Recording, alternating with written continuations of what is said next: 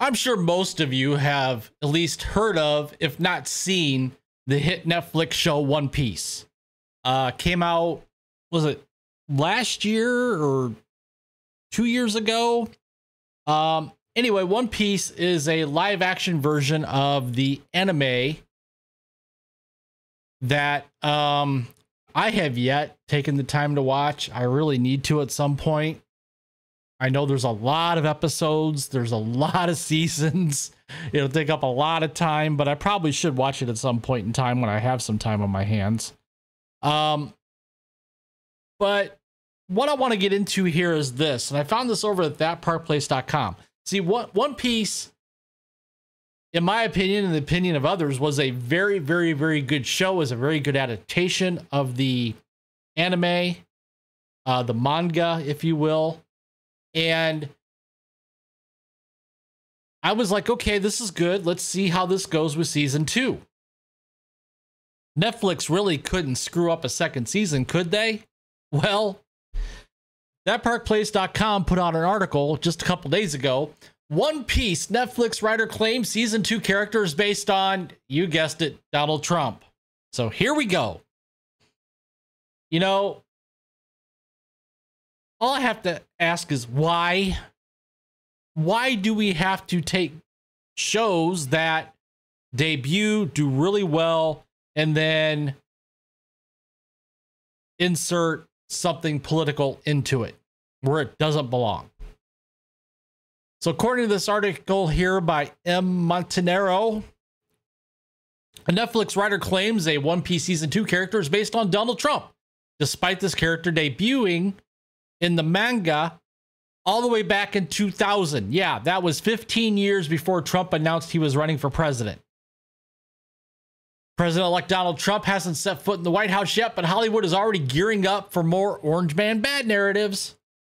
A writer for the Netflix live action One Piece series, which received critical plays nearly across the board, is trying to create parallels between Trump and a comical dictator character named Wapol.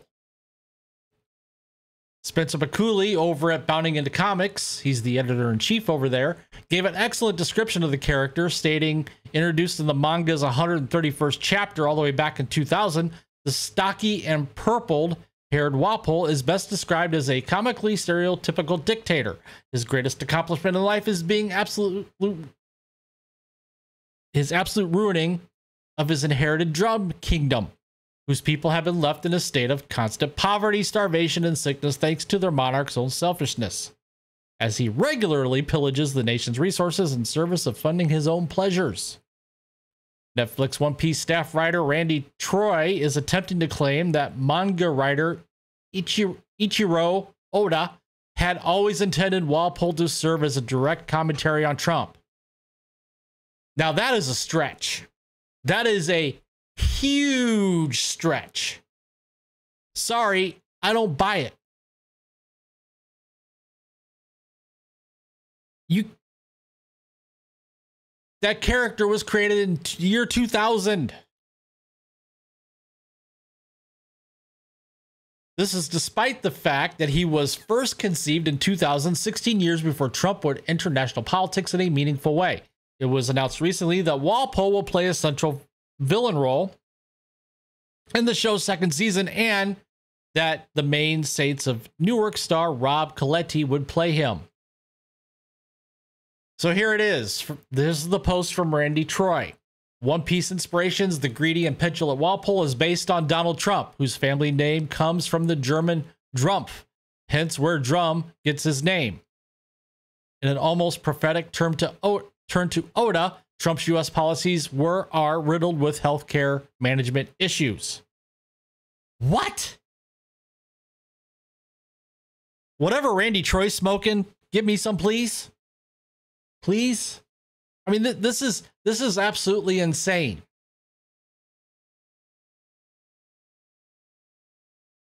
In his since deleted X post pictured above, which I just read, of course, he was immediately hit with a community note, which pointed out that Oda had previously stated that in the One Piece logbooks that the inspiration for Drum Island came from Drum Rock in Canada. Soon after the post went poof, vanished from X. One day I read a book and found a photo of Drum Rock. Oda said the 25th log book for One Piece. If I remember correctly, Drum Rock is located in Canada. The rock looked cool, so I drew an island called Drum Island with a mountain called Drum Rocky. Thus, the so called Chopper arc started. When someone pointed out that Wapol first appeared during a time in which Trump had no impact on politics, Troy doubled down. He planted the seeds as early as 1986 leading to many jokes about him as US president in pop culture well into the early 2000s when Drum was serialized, he said. Even the famous Simpsons episode, Bart to the Future, referenced this idea predating the start of the Drum arc. Wow, dude, you had to reach way back to 1986. You know what Trump was doing in 1986? That was about the time of the USFL. Okay? There were many times in the 80s, the 90s, the early 2000s that people would a- had asked Trump, "Hey, maybe you should run for president." And every one of those times he was nah, not interested. That was until 2015 when he came down that golden escalator in Trump Tower in New York City. So I'm going to leave it up to you folks here in YouTube. Um, and it's the same questions that are in the in the article here on that park place. Do you believe Randy Troy? Is there a connection between One Piece and Donald Trump? Or would you rather believe the guy who wrote One Piece? Who stated specifically that the idea for Drum Island came from Drum Rock in Canada. So comment in the comment section down below. While you're at it, if you would, please take the time to support the channel. Smash that like button. Give me a thumbs up. Hit that subscribe button. Uh, hit the notification bell so you don't miss a video. And with that, thank you for watching, and I will see you guys